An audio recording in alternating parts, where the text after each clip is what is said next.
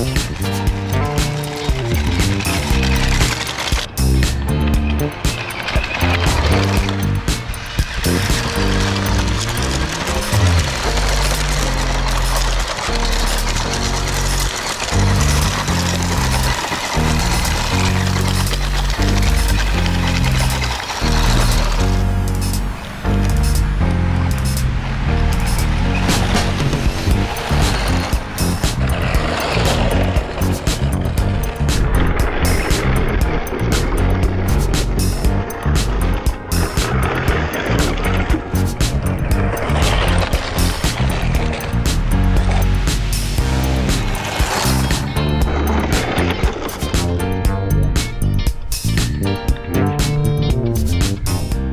Number one, what is that specimen?